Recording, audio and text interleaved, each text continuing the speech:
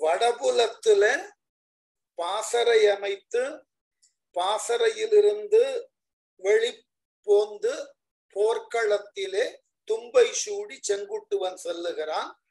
அவ்வாறு செல்லக்கூடிய செங்குட்டுவனை எதிர்த்து வட ஆரிய மன்னர்களாகிய எண்மரோடு இந்த எண்மரும் கனக விஷயரோடு இணைந்து தென்னகத்திலிருந்து குறிப்பாக தமிழகத்திலிருந்து வந்த மன்னனினது வீரத்தை நாம் போர்க்களத்திலே காண் காணலாம் என்ற எண்ணத்தோடு வருகிறார்கள். அந்த வரியோட நிறுத்தினோம்.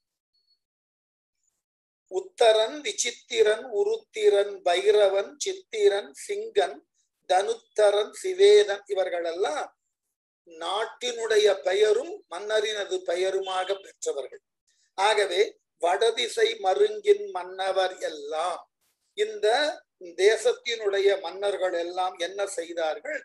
தங்களினுடைய நண்பனான கனக விஷயர்களோடு சேர்ந்து என்ன செய்தார்களா? தென் தமிழ் ஆற்றல் காண்குதும் யாம் என.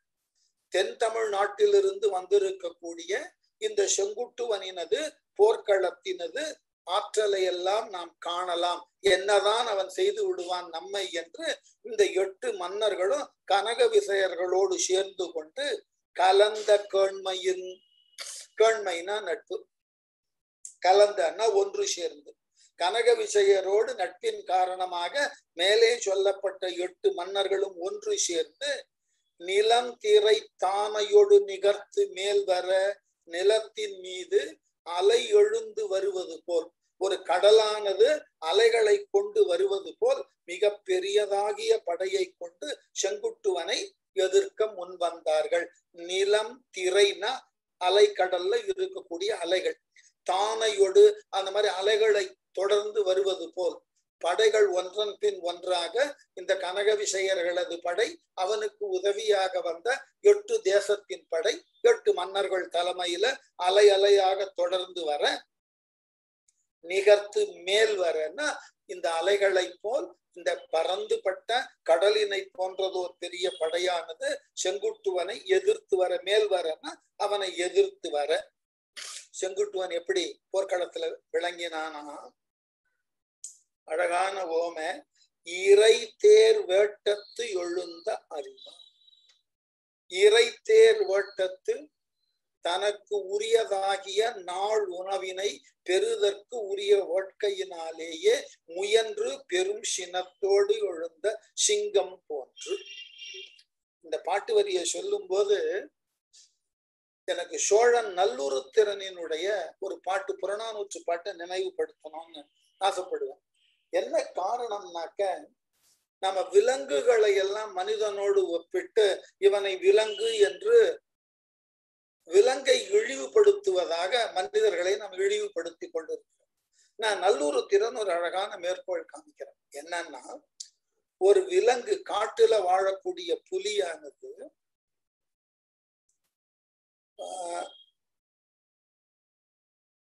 தனக்கு உரியதாகிய உணவை வேட்டையாட வேண்டும் என்று வேட்டையாட புறப்பட்டு ஒரு காட்டு பன்றியை அடித்தது அந்த பன்றியானது இடது பக்கம் விழுந்ததினால இந்த விலங்கினுக்கு தன்னுடைய ஆற்றல் மீதே அவமானம் வந்துவிட்டது. நம்முடைய பசியினால் உடல் தளர்வு உற்று நாம் ஒரு விலங்கை அடித்தோம் அது முறையாக இறக்கவில்லை என்று அந்த விலங்கை உண்ணாமல் அன்று முழுவதும் பட்டினி கிடந்து மறுநாள் தன்னுடைய குகையிலிருந்து வேட்கையாள் வேட்கையோடு வெளிவந்து ஒரு யானையை நல் வலம் படுக்கக்கூடிய அளவிலே அடித்து வீழ்த்திய மெலிவில் உள்ளம்னுவர் கடுங்கண் கேழல் இடம்பட விழுந்ததென அன்றவன் உண்ணாதாகி வழிநாள் நெடுநா நெடுமலை விடரகம் புலம்ப வெட்டெழுந்து நல் இருங்கழிற்று ஒருத்தல் நல்வலம் படுக்கும். புலி பசித்தனைய மெலிவில் உள்ளத்து உரண் உடையாளர் கேண்மை. புலி அவ்வாறு செயல்படும். தான் அடித்த உணவு இடது பக்கம் விழுந்ததுன்னா சாப்பிடாது. தன் வீரத்தின் மீதே அதற்கு அவமானம் வந்து விடும் ஆகவே தான் அடித்த அடியில அந்த விலங்கு வலது பக்கம் விழும். ஆகவே விலங்குகளுக்கு கூட ஒரு இலக்கணம் இருக்கிறது. தன்னால் ஏற்றுக்கொள்ளப்படக்கூடிய உணவு இப்படிப்பட்ட முறையிலே அது கொல்லப்பட்டிருக்க வேண்டும். இப்படிப்பட்ட முறையிலே வேட்டையாடப்பட்டிருக்க வேண்டும்னு ஒரு வரையறை வைத்துக் கொண்டுதான் செயல்படுகிறது என்று நல்லுறுத்திறன் எழுதுறார் அது போல இங்க அந்த மேற்கோளை இங்க நினைவுபடுத்திக் கொள்ளுங்கள். புலின்றதுக்கு பதிலா சிங்கம் என்னவா? இறை தேர் வேட்டெழுந்து இறைனா உணவு. தேர் வேட்டெழுந்துன்னா தேர்ந்த இறையை வேட்டையாடும் பொருட்டு. வள்ளுவர் ஒரு இடத்துல சொல்றாரு இல்லையா? காண முயல் எய்த அம்பினில் யானை பிழைத்த வேல் எந்தல் நாம வேட்டையாட செல்லுகிறோம்னா முயலை வேட்டையாடுறதுல பெருமையே இல்லை.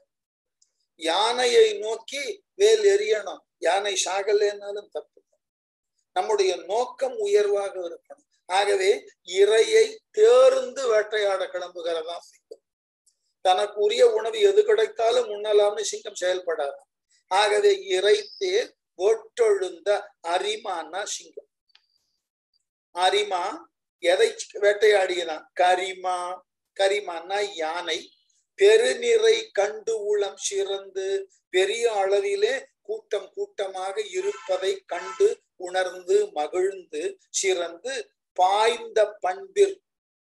அவ்வாறு அந்த கூட்டத்தின் நடுவே பாய்ந்து தனக்கு உரியதாகிய உணவை வேட்டையாடுவதற்கு சிங்கம் பாய்ந்தது போல தன்னை எதிர்த்து வந்து அலை கடலென திரண்டு வரக்கூடிய பெரியதாகிய வட ஆரிய மன்னர்தம் படைகளின் மீது சேரன் செங்குட்டுவனது படைகள் சிங்கத்தினை போல் பாய்ந்தன. ஆகவே பண்பிற் பல்வேல் மன்னர் காஞ்சித்தானையொடு காவலன் மலைப்ப.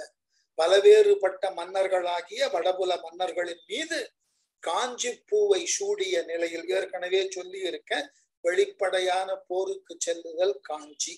ஆகவே காஞ்சி எதிர்த்து வந்திருக்கக்கூடிய மன்னர்கள் காஞ்சி பூச்சூடி எதிர்த்து ஊன்றுகிறார்கள். அவர்களை எதிர்த்து இந்த சேரன் செங்குட்டுவன் தன்னுடைய போரினை தொடங்க காவலன் மலைப்ப காவலன் சேரன் செங்குட்டுவன் மலைப்பன போரினை செய்தல். அரும் போர் மலைதல்னு தான் சொல்லணும். போர் உடற்றினா அது பெருமளவுல கூட்டமான போரா இருந்ததுன்னா மலைதல்னு பொருள். ஆகவே அரும்போர் மலைப்ப வெயில் கதிர் ஒழுங்கிய துகில் கொடி பந்தர். பல்வேறு மன்னர்கள் எதிர்த்து வந்ததினால அந்தந்த மன்னர்களினது நாட்டினை குறிக்கக்கூடிய கொடிகளும் சேரன் செங்குட்டுவன் இவனோடு தொடர்ந்து வந்த ஏனைய பிற சிற்றரசர்கள் இவர்களது கொடிகளும் அந்த போர்க்களம் முழுவதும் நிறைந்திருந்ததினாலே என்ன ஆயிற்றா வெயில் கதிர் ஒழுங்கி சூரியனது வெப்பம் நிலத்துல விழாத அளவினுக்கு இவர்கள் ஏந்தி வந்த கொடிகளே அந்த வெப்பத்தை தடுத்து விட்டனவும் ஆகவே அந்த கொடிகள் பந்தல்களை போலே செயல்பட கூழ போர் நடந்து கொண்டிருக்கிறது. துகில் கொடி மறைப்ப துகில்னா துணி.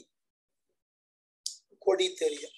துணியினால் நெய்யப்பட்ட அந்த கொடிகளானது சூரிய வெளிச்சத்தை பூமியிலே விழாதது போல மறைக்க என்றால் மிகுதியான கொடிகள் அந்த போர்க்களம் முழுவதும் இருக்க. பந்தர் வடித்தோல் கொடும்பறை இந்த வடித்தோல்னாக்க இந்த தோல் அப்படின்னாக்க முறையாக பதப்படுத்தப்பட்ட தோல் அதுக்கு பேர் வடித்தோல்னு பேர். அதாவது பழைய காலத்துல போர் முரசும் ஏனைய பிற முரசும் செய்தற்கு தோலினை பண்படுத்தி முரசு செய்தால் அது வடித்தோல்னு பேர். பண்படுத்தாது அந்த தோலை அப்படியே அதுல இருக்கக்கூடிய ரோமங்களோடையே சேர்த்து முரசுல கட்டுற மரபும் உண்டு. இது அப்படியே கட்டப்பட்ட தோல் முரசு அர்த்தம். ரெண்டும் நாதத்துல வேறுபட்டிருக்கும் அதனால வடித்தோல் என்றால் பதப்படுத்தப்பட்ட முரசுக்கு என்று தயார் செய்து பதப்படுத்தப்பட்ட தோல்.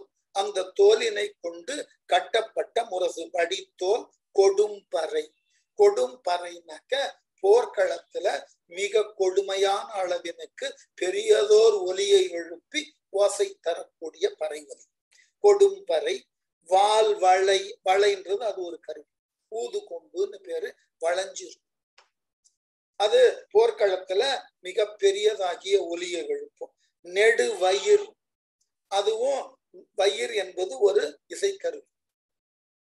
நெடுவயிர் இடிக்குரல் அந்த இடிக்குரல் முரசம் இழுமென் பாண்டில் இடியினை போன்று ஒலி எழுப்பக்கூடிய இழுமென் பாண்டில்னா பாண்டில் என்பது கஞ்சத்தாளம்னு பேரு. உலோகத்தினால் செய்யப்பட்ட தாளம். ஏன் தெரியுமா? இழுமென் ஒலி அந்த தாளத்துல ஓசை எழுப்பினா அந்த ஓசை கொஞ்ச நேரத்துக்கு டிராவல் ஆகிட்டு அதனால அதுக்கு பேர் கஞ்சத்தாளம்னு பேரு. பழைய காலத்துல இந்த இன்னைக்கு வரைக்கும் அப்படித்தான். அந்த பிரித்து வைத்திருந்தார்கள். தோல் கருவி துளை கருவி நரம்பு கருவி கஞ்ச கருவி. கஞ்சம் என்றால் உலோகம்னு பேர். ஆகவே கஞ்ச கருவினா உலோகத்தினால் செய்யப்பட்ட இசைக்கருவிகள். அந்த காலத்துல அந்த மரபு இருந்தது. நமக்கு பிற்காலத்துல இன்றைக்கு புதியதாக எண்ணுவதாக நினைத்து கொண்டிருக்கிறோம் இல்லை. ஏற்கனவே நம்ம அரங்கேற்று கதையில பார்த்திருக்கிறோம். ஒவ்வொரு கருவியையும் எந்தெந்த உலோகத்தினாலும் எந்தெந்த மரத்தினாலும் செய்தற்கு ஏதுவாக இருந்தன என்ற விளக்கங்கள் எல்லாம் பார்த்து. அதனால கஞ்ச கருவி என்பது உலோக கருவி. அதுக்கு பேரு பாண்டில்னு பேர். அந்த உலோகத்தினை அடித்து ஒலி எழுப்பினா அந்த ஒலியானது அந்த அதிர்வுகள் கொஞ்ச நேரம் நிலைக்கும். ஆகவே அதனால்தான் இழுமென் பாண்டில் இழுமென் அந்த ஒலியானது சஸ்டைன் ஆகிறது இழுமென் பாண்டில் உயிர் பலி உண்ணும் முழு முரு முக்குரன் முழக்கத்து அதாவது உயிர் பலி உண்ணும் உரு முக்குர உருமுக்குரன் முழக்கத்து உயிரினை போர்க்களத்திலே பலியாக கொள்ளுதற்கு உரிய அளவிலே அங்கு இந்த வாத்திய கருவிகளினது ஒலியானது இடியினை போல் எழ உருன இடி. உயிர் பலி உண்ணும் உருமு குரல் முழக்கத்து உருமுதல்னா இடித்தல் அர்த்தம். மேலே சொல்லப்பட்ட இத்துணை போர்க்கருவிகளும் சேரனது படையிலிருந்து பெரியதோர் ஒலியை எழுப்ப அந்த ஒலியினது முழக்கத்தினால் எதிரிகளனது உயிர்களானது அழிக்கப்படுகிறது. முழக்கத்து மயிர்கண் முரசமொடு. மயிர்கண் அதுதான் சொன்ன வடித்தோல் என்றால் பண்படுத்தப்பட்ட தோல்.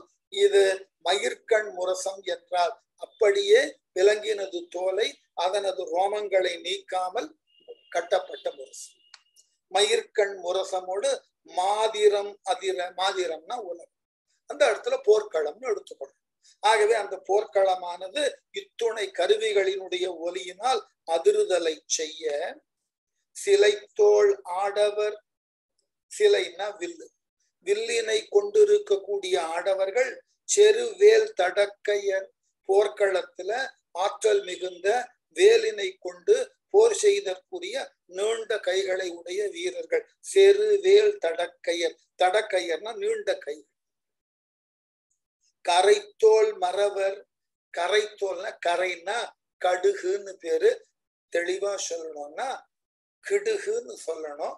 கிடுகுக்கு தெளிவான இன்றைய நடைமுறை பெயர் என்னன்னாக்கா வேலும் வாளும் கொண்டிருக்கக்கூடியவர்கள் கையில எதிரிகள் எய்யக்கூடிய ஆயுதங்களை தடுப்பதற்கு கையில கேடயம் வைத்திருப்பார்கள். அதுக்கு பேரு கிடுகுன்னு பேர். ஆகவே கரைத்தோல் மரவர் அப்படின்னாக்க இந்த கரைத்தோல் மரவர்னா பழைய காலத்துல இந்த கிடுகு என்பது தோலினால் செய்யப்பட்டிருக்கும். நல்ல முரட்டு தோலினால் செய்யப்பட்டிருக்கும். வாழ் கொண்டெல்லாம் வெட்ட முடியாது. வேலும் அதனை ஊடுருவாது. ஆகவே கரைத்தோல் மரவர் கடும் தேர் ஊருனர் விரைவாக செல்லக்கூடிய தேரிலே ஊர்ந்து வரக்கூடியவர்கள். கடும் தேர் ஊருனர் வெண்கோட்டி யானையர் தந்தங்களை வெண்கோடுன வெண்மையான கொம்பு யானையினது தந்தம் வெண்கோட்டி யானையர் வெண்மையான தந்தங்களை கொண்டுள்ள ஆண் யானையின் மீது ஊர்ந்து வருபவர்களும் விரைப்பறி குதிரையர் விரைவாக ஓடுதலை செய்தற்குரிய பரின்னா குதிரை. விரைப்பறி குதிரையர். அந்த பரி என்ற சொல்லே இருபொருள் பன்மொழியாக பரி குதிரையர். மண் கண் கெடுத்த இம்மாநில பெருந்துகள் களம் கொள் யானை கவிழ்மணி நாவும். அழகான மேற்கோள். என்ன மண் கண் கெடுத்த இந்த மண் கண் அப்படின்னாக்க இவ்வளவு பெரியதாகிய படையானது இருவர் பகுதியிலிருந்தும் பெருக்கெடுத்து ஒருவரோடு ஒருவர் மோதிக்கொள்வதினாலே எழக்கூடிய துகள் இருக்கிறது அல்லவா மண் துகள் மண் கண் கெடுத்த இம்மாநிலம் அந்த போர்க்களத்துல மட்டுமின்றி அந்த போர்க்களத்துல இந்த வீரர்களினாலும் விலங்குகளினாலும் தேர்களினாலும் எழுப்பப்பட்ட மண் துகள் புழுதி இருக்க அந்த நிலப்பகுதியில இருக்கக்கூடிய எல்லாரினுடைய கண்களை மறைக்கக்கூடிய அளவினுக்கு பெரிய அளவுல பூசல் பெரிய அளவுல போர் நிகழ்ந்ததா? ஆகவே மாநில பெருந்துகள் அந்த நிலம் முழுவதும் இந்த வட மாநிலம் முழுவதும் பெரியதாகிய அளவில புழுதி புயலால் மூட பெற்றதா காரணம் இவ்வளவு பெரிய படைகள் ஒன்றோடு ஒன்று மோதுவதினால் காண்பவர்களினுடைய கண்ணை மறைக்கக்கூடிய அளவினுக்கு பார்வை மறையக்கூடிய அளவினுக்கு இந்த புழுதியானது அங்கு தோன்ற மிக பெரியதாகிய போர் நிகழ்ந்தது. அதனால களங்கொள் யானை கவிழ்மணி நாவும் போர்க்களத்துல பங்கேற்று கொண்டிருக்கக்கூடிய யானைகளினது கழுத்திலே கட்டப்பட்ட மணியினது நா என்றால் மணிக்கு நடுவுல ஆடிக்கொண்டிருக்கக்கூடிய அந்த நா அதனுடைய ஒலியும் நாவும் விலங்கு கொடி நந்தின் வீங்கிசை நாவும் காற்றிலே அசைந்து கொண்டிருக்கக்கூடிய கொடிகளினது நந்தின் வீங்கிசை நாவும் அந்த கொடிகள்ல இருக்கக்கூடிய காற்றினால் எற்றக்கூடிய அளவில் அந்த கொடிகள் எழுப்பின ஒலி போர்க்களத்துல பல்வேறு வீரர்கள் ஊதுதற்குரிய சங்கின் ஒலி நங்குன்னா சங்கு? சங்கின் ஒலியும் வீங்கிசைனாவும் நடுங்கு தொழில் ஒழிந்து ஆங்கு கொடும் கொடுங்கியுள் செரிய நடுங்கு தொழில் ஒழிந்தாங்கன்னாக்க இந்த போர்க்களத்துல அச்சமே சிறிதும் இல்லாமல் நடுங்கு தொழில் ஒழிந்து அச்சமே சிறிதுமில்லாமல் ஆங்கு கொடுங்கியுள் செரிய கடுமையான போரினை செய்தற்கு முன்வர தாரும் தாரும் தாம் இடை மயங்க தார்னா ஆடவர் அணியக்கூடிய மாலைன்னு ஒரு பொருள். இந்த இடத்துல தார் அப்படின்னு சொன்னாக்க முன்படைகள் ஒரு பெரிய போர்க்களத்துல முன்னாடி செல்லக்கூடிய முன்படைகள் அதுக்கு பேரு தூசிப்படைன்னு பேரு அல்லது தார்னு பேரு. இந்த முதல் படை வீரர்கள் ஒருவரோடு ஒருவர் மோத தாரும் தாரும் தாம் இடை மயங்க தோளும் தலையும் துணிந்து வேறாகி அவ்வாறு போர் செய்வதனாலே போர்க்களத்துல இந்த சேர வீரர்கள் எதிரிகளினது படை வீரர்களினது தோளையும் தலையையும் தனித்தனியாக பிரித்தார்களாம். வெட்டினார்கள்னு பொருள். தோளும் தலையும் துணிந்து துணிதல் என்றால் வெட்டுதல் துணித்தல் வெட்டுதல். வெட்டி வேறாக்கிய சிலை தோல் மரவரும் வில்லாற்றலிலே மிக்கு இருக்கக்கூடிய வீரர்களும் மறவர் உடற்பொறை அடுக்கத்து இந்த வாழ் வீரர்களும் வில் வீரர்களும் எதிரிகளை கொன்று தலை வேறாக முண்டம் வேறாக மாற்றி போர்க்களத்துல பிணங்களை குவித்துக் கொண்டே செல்லுகிறார்களாம். உடற்பொறை அடுக்கத்து. உடலானது மலைகளைப் போலே குவிக்கப்பட தெரி பிணம் இடறிய குறையுடல் கவந்த இந்த பிண குவியல்களுக்கு நடுவிலே தலையினை இழந்த உடல் மட்டும் கூத்தாடக்கூடிய நிலையில் கவந்தம்னா தலையில்லாத உடல் மட்டும் ஆடுற ஆட்டம். ஏற்கனவே இதை பார்த்திருக்கோம் கம்பராமாயணத்துல. ஆகவே தெரி பிணம் இடறிய அந்த போர்க்களத்துல இருக்கக்கூடிய பிணங்களுக்கு நடுவே குறையுடல் கவந்தவும் தலையை இழந்த குறைப்பட்ட உடல்களானது துள்ளி குதிக்கக்கூடிய அந்த கோரமான காட்சியும் பறைக்கண் பேய்மகள் பாணி பாணிக்கு ஆட பறைக்கண் பேய்மகள்னா பறையினது கண்ணை போல் பறையின அப்படின்னா பழைய காலத்துல பறை என்று சொல்லக்கூடிய போர் பறையில நடுவுல சாந்து பூசப்பட்டு இப்ப மிருதங்கத்துல எல்லாம் சோறுன்னு வைக்கிறாள் அந்த மாதிரி அந்த சாந்துன்னு பேர் பூசப்பட்டிருக்கும் பறையினுடைய புறப்பகுதியில வாசிச்சா ஒரு ஒலியும் அந்த சாந்து பூசப்பட்ட பகுதியில வாசித்தால் பிரிது ஒரு ஒலியும். ஒரு உலோக ஒலி போல கேட்கும் ஒரு மெட்டாலிக் சவுண்ட் போல. இந்த ஓமைய சிலம்பு மட்டுமல்ல சங்க இலக்கியத்துல பட்டினப்பாறை சொல்ற அதாவது பேயின் பிதுங்கிய கண்களை போல் முரசம் இருந்ததுன்னு எழுதுறார். அதனால பறை கண் பேய்மகள் இங்க அப்படியே மாற்றி எழுதுகிறார். பறையினது கண் போலே கண்களை பெற்றிருக்கக்கூடிய பேய்மகள் பெண் பேய்களானது பாணிக்கு ஆட தாளத்திற்கு ஏற்றார் போல் அந்த போர்க்களத்துல ஆரவாரமாக ஆடுதலை செய்தனவாம் ஆட பிணம் சுமந்து ஒழுகிய நினம் படுகுருதியும் பிணங்கள் மிக்கு இருக்கக்கூடியதும் இறந்து கிடந்த வீரர்களினது உடலிலிருந்து குருதியும் நினமும் நினம்னா தசை பகுதிகள் குடல் போன்றவைகள். ஆகவே குருதியில் இவைகளுக்கு நடுவிலே கணம் கொள் பேய்மகள் கது கதுப்பிகுத்து ஆட இந்த பிணங்களுக்கு நடுவுல அந்த நினச்சேருல குருதி குளத்துல இந்த பேய்மகளானவள் கணம் கொள் பேய்மகள் அந்த பேய்மகளானவள் ஆட ஆரம்பிச்சாளாம் எப்படியா? கதுப்பி கதுப்பிகுத்து ஆட மிகுதியான ஆர்வத்தோடு மேலே சொல்ல அந்த கவந்தத்திற்கு ஏற்றாற்போல் அது தாளம் கொடுப்பது போல் இருந்ததா? அந்த தாளத்திற்கு ஏற்றாற்போல் இந்த போர்க்களத்துல பிணங்களுக்கு நடுவுல நினச்சேறுகளுக்கு நடுவுல பேய்கள் எல்லாம் ஆட தலைப்பட்டன. அப்படிப்பட்டதோர் பெரியதோர் அழிவை தரத்தக்க அளவிலே சேரன் செங்குட்டுவன் வடமன்னர்களை முற்றிலுமாக அழித்தொழிக்க.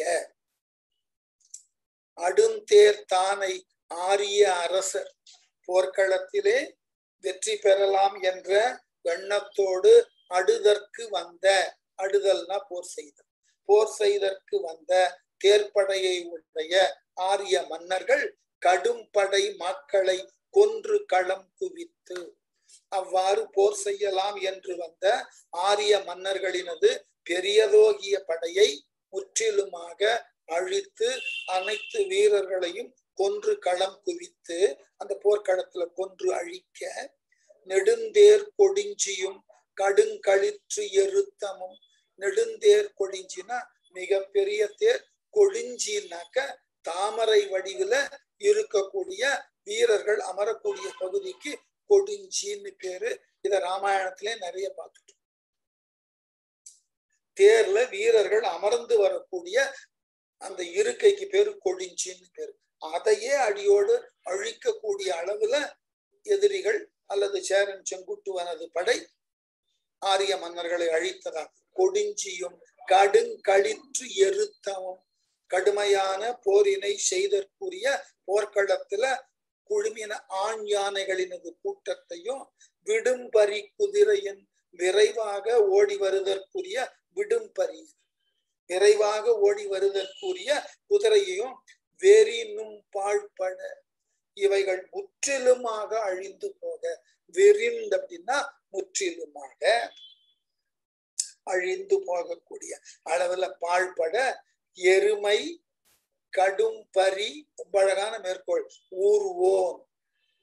எருமையை தனது குதிரையாக கொண்டு ஊர்பவனாகிய யமன். அவ்வளவு வேகமா யமன் நிதானமா வருவான்னு பேரு. ஆனா இந்த போர்க்களத்துல எருதினை தான் ஏறி வருதற்குரிய எருமையை எருமை கிடாவினை குதிரை போல வேகமாக ஓட்டி வருவதற்குரிய யமன் மிக பெரிய அளவுல எதிரிகளினது உயிர்களை ஒரு நாள் பொழுதிலேயே உண்டு விட்டான். ஆகவே எருமை கடும்பரி ஊர்வோன் உயிர் தொகை. வட ஆரிய மன்னர்களினது படைகளாகிய வீரர்களினது உயிர் தொகை. அந்த உயிர்களை தொகை தொகையாக தொகுதி தொகுதியாக கூட்டம் கூட்டமாக எப்படி ஏற்றுக்கொண்டானா? ஒரு பகல் எல்லையில். ஒரு பகல் பொழுதுதான் போர் நடந்தது ரெண்டு நாள் மூணு நாள்லாம் நடக்கல ஒரு பகல் எல்லை. இப்ப சேரன் எவ்வளவு பெரிய வீரனா இருந்திருக்கணும் எவ்வளவு பெரிய படையோடு வந்திருக்கணும் இதுதான் முக்கியம். ஏன் இலக்கியத்துல இவ்வாறு சொல்லப்படுகிறதுனா கொஞ்சம் ஆராய்ச்சி பண்ணும் கொஞ்சம் நமக்கு உலக வரலாறு தெரிந்திருந்தால் வேடிக்கையாக சொல்லுவார்கள்.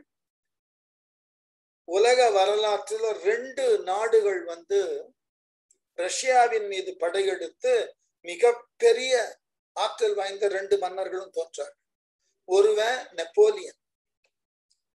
ரஷ்யாவின் மீது படையெடுத்து தோல்வி பெற்றார் அது போல ஹிட்லர். வேடிக்கையாக சொல்லுவார்கள் ஹிட்லர் படையெடுத்த பொழுது ஹிட்லரை வென்றது யாருன்னு கேட்டா ரஷ்ய படையில இருந்த ரெண்டு இராணுவ தலைவர்கள் பெயரை சொல்லிட்டு மூன்றாவதாக சொல்லுவார்கள் ஜெனரல் வின்டர்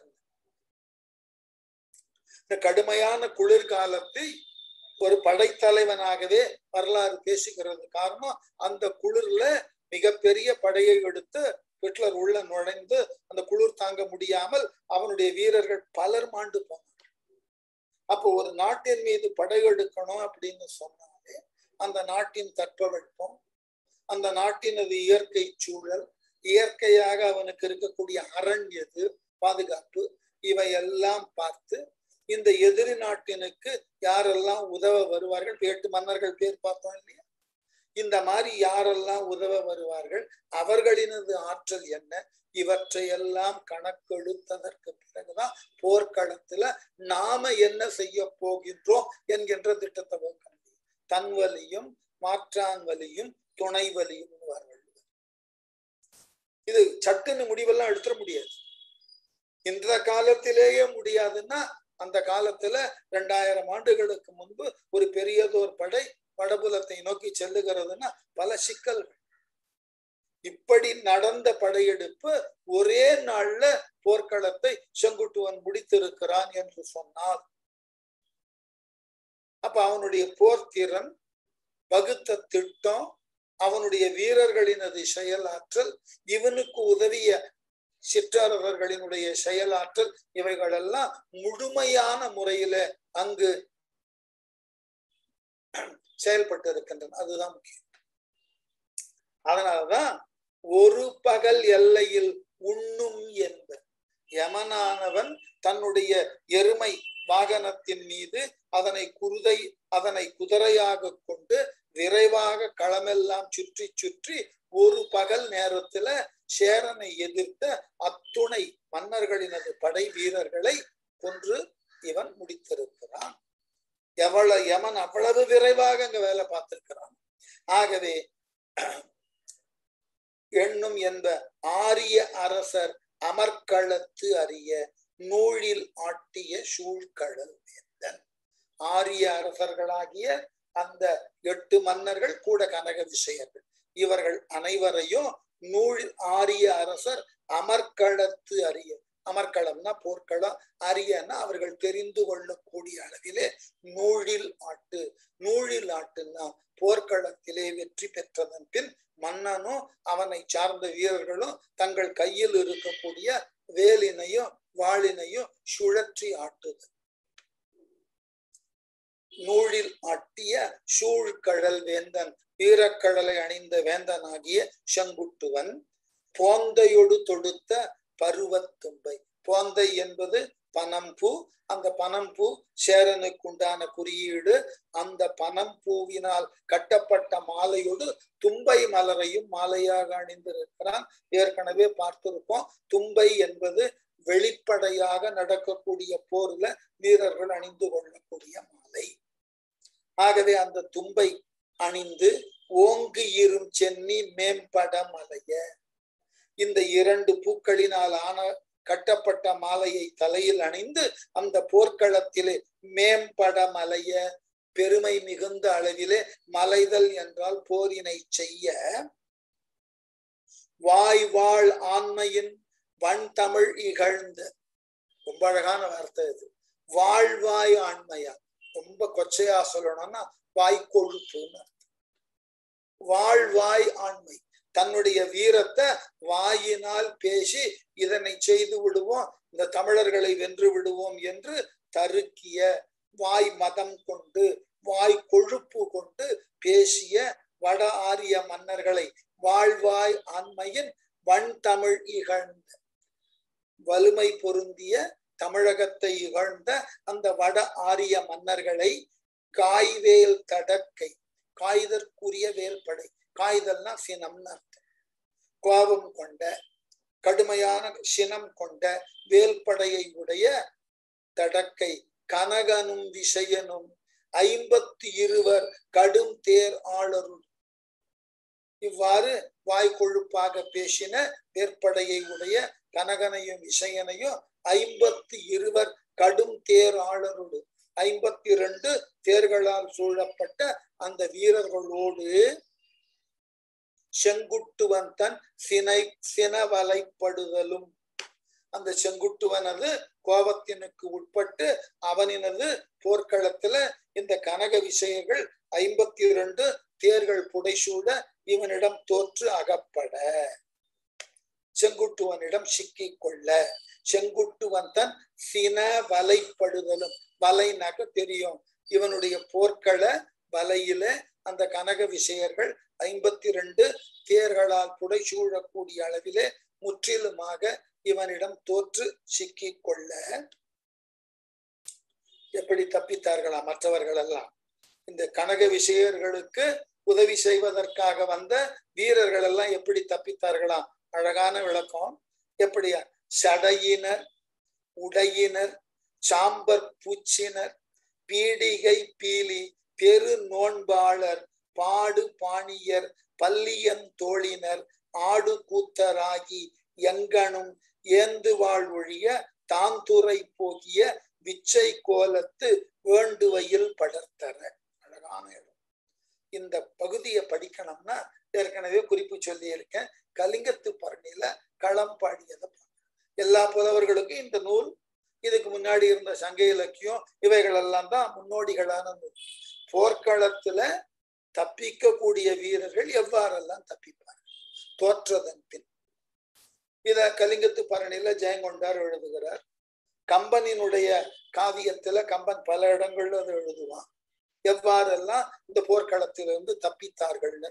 இந்த ஆசிரியர் எப்படி எழுதுறார் பாருங்க. இளங்கோவடிகள் சடையினர் உடையினர்.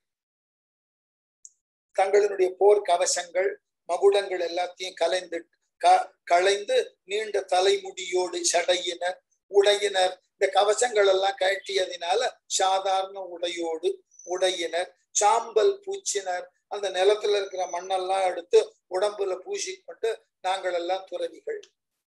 நாங்கள் இந்த போர்க்களத்து வழியாக வந்தோம். எங்களுக்கு இந்த போர்க்களத்திற்கும் எந்த சம்பந்தமும் இல்லை. நாங்கள் துறவு நிறையில் நிற்பவர்கள். பாருங்கள் எங்கள் உடையையும் நாங்கள் பூசிக்கொண்டிருந்த சாம்பலையும் என்று காட்டி பூச்சினர் பீடிகை பீலி பெரு நோன்பாளர். கையில பீலினா மயில் தோகை. மயில் தொகைகளை வைத்துக்கொண்டு நாங்கள் எல்லாம் இவைகளை கொண்டு பெருக்கி அதன் மூலமாக உயிர்களை கொல்லாது இருக்கக்கூடிய நோன்பினுக்குரிய சமணர்கள் என்று சொல்லி பெரு நோன்பாளர்னா சமணர்கள். என சமணர்கள் வீதியில செல்லும் போது கூட தங்கள் கால்களினால் எந்த உயிரும் மிதிப்பட்டு இறந்து விடக்கூடாது என்று வீதியை பெருக்கிய வண்ணமே நடப்பார்கள். ஆகவே பீடிகைனா வீதியின் அர்த்தம். ஏற்கனவே அதை பார்த்திருக்கோம். ஆகவே பீலி பெருநோன்பாளர் பீலின்னா மயில் தொகை. திருவள்ளுவர் காமிக்கிறார் பீலி பெய் சாக்காடு. பீலின்னா மயில் தொகை. இந்த மயில் தொகையை கொண்டு வீதியை பெருக்கிய வண்ணம் செல்லக்கூடிய சமணர்கள் நாங்கள். ஆகவே நாங்கள் இந்த போருக்கு தொடர்பு அற்றவர்கள் என்று தங்களை சமணர்களைப் போலே காட்டிக்கொண்டு தப்பித்தவர்களும். பாடு பாணியர் பல் தோழினர். நாங்கள் நல்ல விதமாக இசை பாடக்கூடிய பாணர்கள் என்றும் பல்வேறு விதமான வாத்தியங்களை வாசிக்கக்கூடிய வாத்திய கருவிகளை இயக்கக்கூடிய வல்லமை பெற்றவர்கள் என்றும் சொல்லி அதான் பாடு பாணியர்.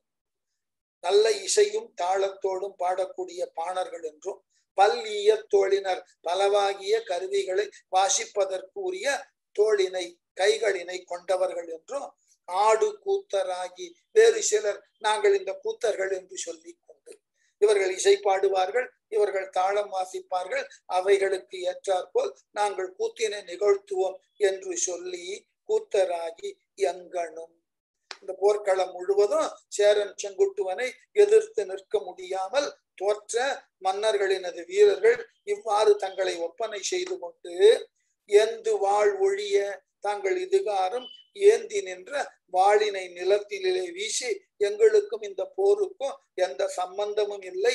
யாதொரு தொடர்பும் இல்லை என்று சொல்லி தாம் துறை போகிய இந்த போர் வீரராக வருவதற்கு முன்பு அவர்களுக்கு முன்பு என்னெல்லாம் தொழில் தெரியுமோ? அந்த தொழிலை முன்னெடுத்து நாங்கள் அத்தகு தொழிலை செய்யக்கூடியவர்கள் எங்களுக்கும் இந்த போரினுக்கும் எந்த ஒரு தொடர்பும் இல்லை என்று சொல்லி விச்சை கோலத்து விச்சை கோலம்னாக்க வேறுபட்ட வடிவங்களில். பிச்சை கோலத்து வேண்டுவையின் படர்தர அவரவர் தப்பிப்பதற்குரிய இடம் தேடி அவரவர் படர்தரன்னா ஓடி ஒழிந்தார்கள். படருதல் என்றால் ஓடும். ஆகவே இந்த சேரன் செங்குட்டுவன் படை முன்பு தாங்கள் நிற்க முடியாது என்று தெரிந்து தங்களை இவ்வாறு எல்லாம் மாற்றிக்கொண்டு போர்க்களத்தை விட்டு தப்பித்தால் போதும் என ஓடி ஒளிய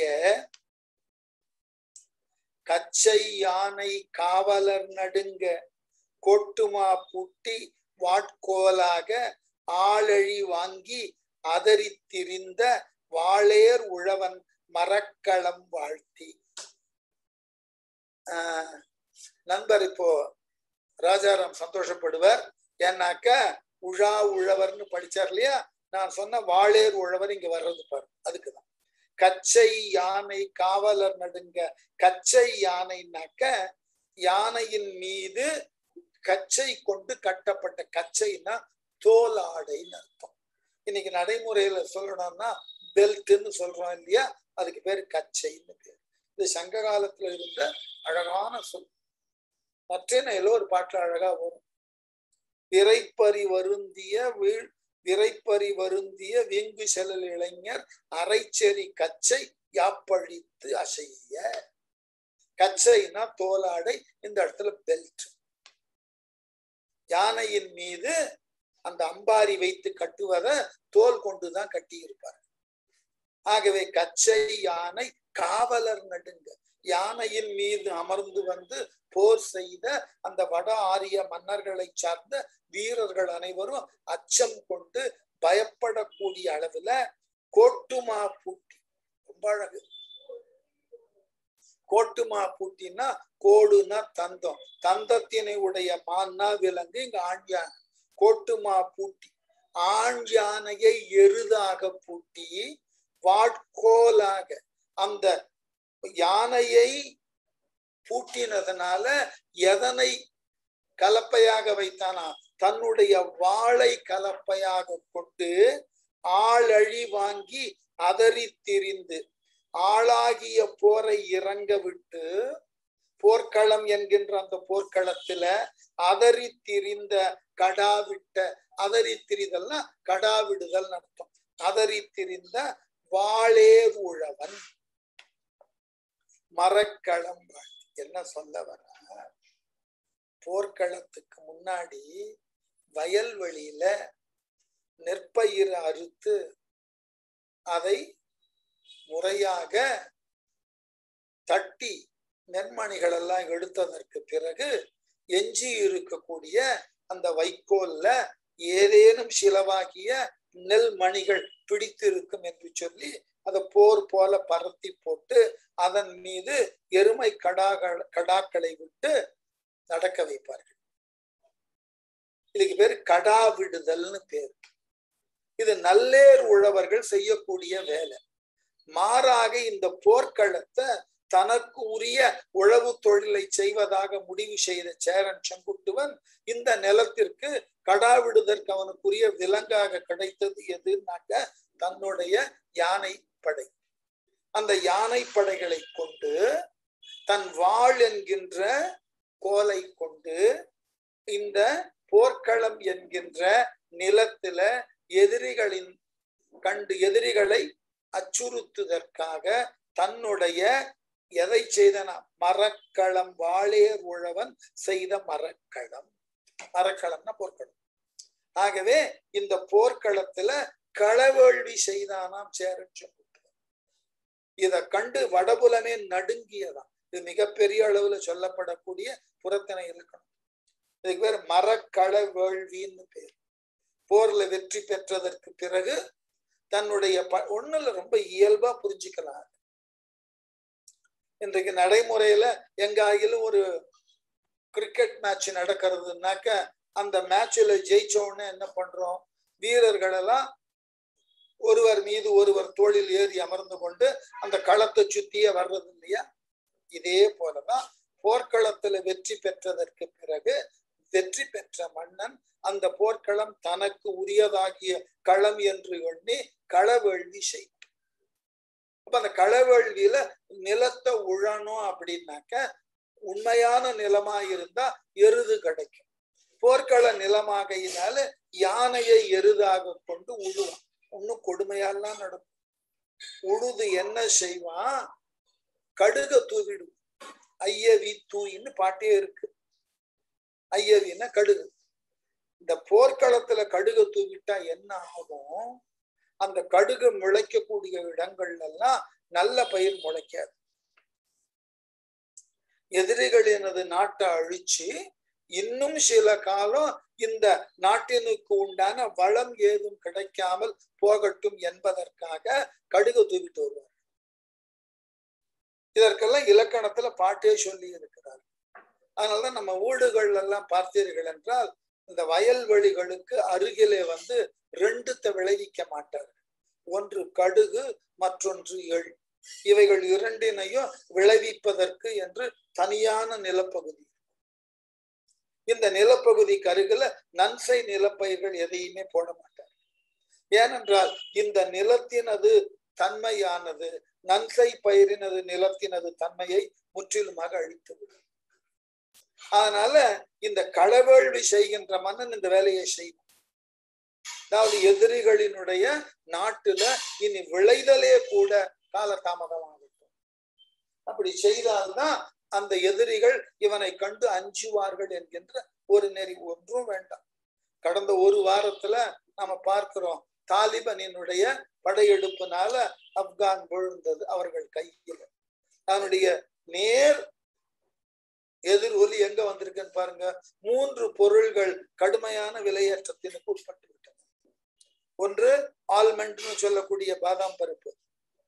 மற்றொன்று அந்த நாட்டில இருந்து கிடைக்கக்கூடிய பெருங்காயம். கடுமையா விலையேறி போச்சு. இதுதான். ஒரு எதிரி நாட்டுல இருந்து பெறக்கூடிய பொருள் அந்த நாட்டை அழித்தாலும் சரி அந்த நாட்டினை பிறர் ஆக்கிரமிப்பு செய்தாலும் சரி முதல்ல விவசாய பொருள்கள் தடை.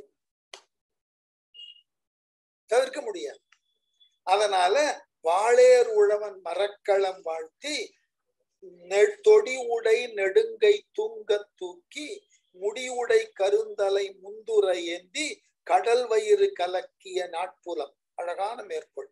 தொடி உடை நெடுங்கை தொடின்னா வளையல். வளையலை உடைய நீண்ட கைகளை கொண்டுள்ள தூங்க தூக்கினாக்க தூக்கினா அசைய தூங்க தூக்கி. மேல இப்படி தூக்கி கையை அசைக்கிறது. அந்த அசைக்கிற கையில என்ன இருக்குன்னு பாருங்க. தூங்க தூக்கி தூங்குதல் என்றால் அசைதல் தூக்குதல் என்றால் உயர்த்துதல். கைய உயர்த்தி அசைக்கிறதா? வளையலை அணிந்த பேய்கள் எல்லாம் இந்த மாதிரி மரக்கலக்கு வேள்வி செய்த சேரன் செங்குட்டுவனை புகழ்ந்து அவ்வாறு இந்த பேய்கள் கையினை தூக்கி அசைக்கின்ற பொழுது அதன் கைகள்ல என்ன இருக்கா? முடி உடை கருந்தலை முந்துரையின் போர்க்களத்துல இந்த ஆரிய மன்னர்களையும் அவர்களை சார்ந்த வீரர்களையும் சேரன் செங்குட்டுவன் படைகள் கொன்ற வீரர்களினது தலைகளை கையில ஏந்தி ஆரவாரத்தோடு பேய்கள் எல்லாம் கையை ஆட்டுகின்றன. இப்படிப்பட்டதோர் பெரிய போர்க்கள விருந்தை எனக்கு தந்தாயே என்று இந்த சேரன் செங்குட்டுவனை இந்த பேய்கள் எல்லாம் போர்க்களத்துல வாழ்த்தி நீ களவேள்வி செய்தது எங்களுக்கு பெரியதோர் விருந்தினை தருவதாக இருந்தது என வாழ்த்தி இப்போ சேரன் செங்குட்டுவன திருமாலோடு ஒப்பிட்டு மூன்று போர்க்களத்தை மேற்கொள்ள காட்டுறார் எவ்வளவு அழகான புராண ஞானம் இருக்கு முதல் போர்க்களம் எது? முடிவுடை கருந்தலை முந்துரை ஏந்தி இந்த பேய்கள் எல்லாம் வளையல் அணிந்த தங்கள் கைகளினாலே உயர்த்தி அந்த கைகளிலே வடவாரிய மன்னர்களை சார்ந்த வீரர்களினது தலையை ஏந்தி கொண்டு என்ன புகழ்ந்தனவா? கடல் வயிறு கலக்கிய ஞாட்புலம். பண்டொரு காலத்துல பார்க்கடலை கடைவதற்காக அசுரர்களும் தேவர்களும் முயன்ற பொழுது அவர்களுக்கு உதவக்கூடிய அளவிலே கலக்குதற்கு முன் வந்த கூர்ம அவதாரம் எடுத்த நாரணனை பாராட்டியும். நாட்புலம் கடலகள் முதல் விஷயம். ரெண்டாவது கடலகள் இலங்கையில் எழுந்த சமரமும் கடலால் சூழப்பட்ட மிகப்பெரிய நிலப்பகுதியாகிய இலங்கையில் ராமனாய் வந்து மேற்கொண்ட போரினை போன்றும். கடலகள் இலங்கையில் எழுந்த சமரம் சமர்னா போர்.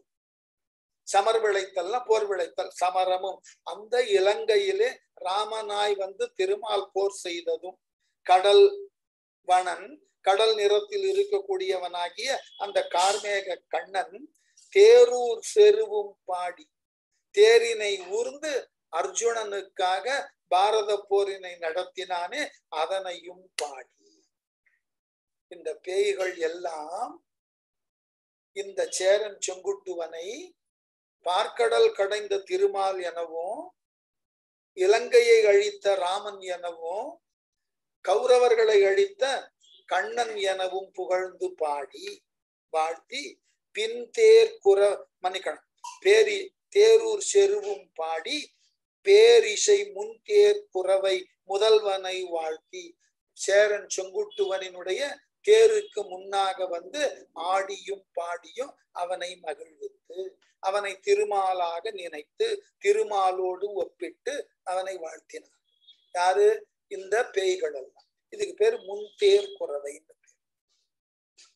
அப்புறம் அந்த தேரானது போர்க்களத்தை விட்டு செல்லுகின்ற பொழுது இப்படிப்பட்டதோர் வெற்றியை தந்தாயே நாங்கள் உண்ணுதற்கு பலவாகிய நினங்களை தந்தாயே என்று தேரின் பின்னாக பின்தேர் குறவையையும் பாடி பின்தேர் குறவை பேயாடு பறந்தலை.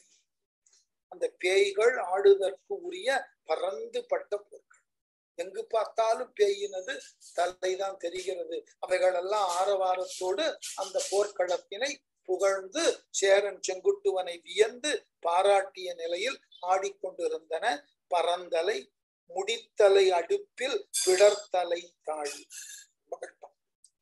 அப்படியே கலக்கிட்டு போற படிக்கணும். முடித்தலை அடுப்பில்னா எதிர்த்த பகை மன்னர்களினது தலையை வெட்டி அதை அடுப்பாக மூன்று தலையை வச்சு அதற்கு மேல பிடர்த்தலை தாழ் பிடர்த்தலைனா பிடரினை உடைய தலையை கொண்டுள்ள யானை யானையினது உடலை தாழியாக பானையாக வைத்து. எப்படி? பொது வெளியில அடுப்பு மூட்டணும்னா மூணு கல்லு வைப்போம் இல்லையா?